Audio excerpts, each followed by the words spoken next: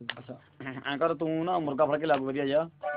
ਮਤਲਬ ਕਿ ਤੂੰ ਬੰਦਾ ਫੜ ਕੇ ਲਿਆ ਬੋਤਲ ਦਾ ਇੰਤਜ਼ਾਮ ਕਰ ਤੇ ਮੁਰਗੇ ਦਾ ਇੰਤਜ਼ਾਮ ਮੈਂ ਆਪੇ ਕਰ ਲਓ। ਜਨਾਬ ਹੁਣੇ ਬੰਦਾ ਕੋਈ ਨਾ ਕੋਈ ਘੇਰ ਕੇ ਲਿਆਇਆ ਤੇ ਆਪਾਂ ਫਿਰ ਆ ਗਿਆ ਜਨਾਬ। ਮੈਂ ਠੀਕ ਆ।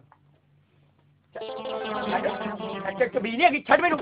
ਤੇ ਬੋਲ ਕਿੱਦਾਂ ਬੋਲਣ ਕਿੱਦਾਂ ਚਾਹੀਦਾ ਤੂੰ ਓਏ? ਜਨਾਬ ਜੀ ਅੱਗੇ ਰੌਲਾ ਪਾਉਂਦਾ ਕੋਈ ਫੀਤੀ ਫਾਤੀ ਘਾਟਾ ਕਿਤੇ ਮੇਰੇ? ਫੀਤੀਆਂ ਤੇ ਪੂਰੀਆਂ ਫੀਤੀਆਂ ਵੇ ਇੱਧਰ ਫੀਤੀਆਂ ਵੇ ਇੱਧਰ। ਜ- ਜਨਾਬ ਮੇਰੀ ਗੱਲ ਸੁਣੋ ਕੀ ਗੱਲ ਹੈ? ਇਹ ਇਹ ਮੇਰਾ ਬੋਲਣ ਗਲਤ ਜਿਹਾ ਮੈਂ ਇਹੋ ਦੱਸਿਆ ਵੀ ਮੇਰਾ ਪਿਆਰ ਨਾਲ ਬੋਲ ਮੈਂ ਬਜ਼ੁਰਗ ਬੰਦਾ। ਹਾਂ। ਹਾਂ ਦੱਸੋ ਓਏ, ਕਸੂਰ ਦੱਸੋ ਮੇਰਾ ਕੀ ਕੀ ਹੈ ਗੱਲ ਹੈ ਉਹ ਜਨਾਬ ਕਿਹੜਾ ਆਪਾਂ ਬੰਦਾ ਲੱਭਣ ਡਏ ਸੀ ਆ ਵੀ ਲੱਭ ਗਿਆ ਆਪਾਂ ਨੂੰ? ਇਹ ਉਹੀ ਆ। ਇਹ ਉਹੀ ਆ। ਹਾਂ। ਇਹਨੇ ਖੱਜਲ ਕੀਤਾ ਆਪਾਂ ਨੂੰ। ਲਿਖ ਦਾ ਦੱਸ ਹਾਏ ਦੱਸ ਲਿਖਾ। ਹਾਏ ਮੇਰੀ ਫੋਟੋ ਕਿੱਡੀ ਵਧੀਆ। ਫੋਟੋ ਤੇਰੀ ਨਹੀਂ ਅਟਾ ਲਿਖਾ। ਕਿੱਥੇ ਰਹਿਣਾ ਹਾਂਜੀ ਕਿੱਥੇ ਰਹਿਣਾ ਵਾ ਮੈਂ ਜੀ ਇੱਥੇ ਪਿੱਛੇ ਉਹ ਰਹਿੰਦਾ ਪਿੱਛੇ ਨਹੀਂ ਘਰ ਦਾ ਐਡਰੈਸ ਲਿਖਾ ਪਿੰਡ ਦਾ ਨਾਂ ਲਿਖਾ ਕੋਈ ਅੱਛਾ ਡਰੈਸ ਆਪਣਾ ਲਿਖਣਾ ਨਾਂ ਕਿਹਦਾ ਮੇਰਾ ਨਾਂ ਜੀ ਸਰਦਾਰ ਬਿਸ਼ਨ ਉਹ ਸਿੰਘ ਪਰੇ ਉਹ ਤੁਸੀਂ ਜਾਣਾ ਵਾ ਅ, ਲਿਖੋ ਜੀ ਸਰ- ਦੇਖ- ਦੇਖੋ ਸਰਦਾਰ ਬਿਸ਼ਨ ਸਿੰਘ ਸਰਦਾਰ ਬਿਸ਼ਨ ਸਿੰਘ ਆ ਐਡਰੈਸ ਲਿਖਾ ਘਰ ਦਾ ਕੋਈ ਐਡਰੈਸ ਹੁਲੀਆ ਪੂਰਾ ਪੂਰਾ ਪੂਰੇ ਘਰ ਦਾ ਪੂਰਾ ਐਡਰੈਸ ਹਾਂ ਲਿਖੋ ਹਾਂ। ਤੁਸੀਂ ਏਦਾਂ ਕਰੋ ਵੀ ਸਭ ਤੋਂ ਪਹਿਲਾਂ ਸਿੱਧੇ ਜਾਇਓ ਸਿੱਧੇ ਜਾਓ ਲਿਖ ਬਈ ਹਾਂ ਸਿੱਧੇ ਸਿੱਧੇ ਨਹੀਂ ਜਾਣਾ ਛੱਡ ਦਿਓ ਤੁਸੀਂ ਰਹਿ ਦਿਓ ਚਲੋ ਤੁਸੀਂ ਨਾ ਖੱਬੇ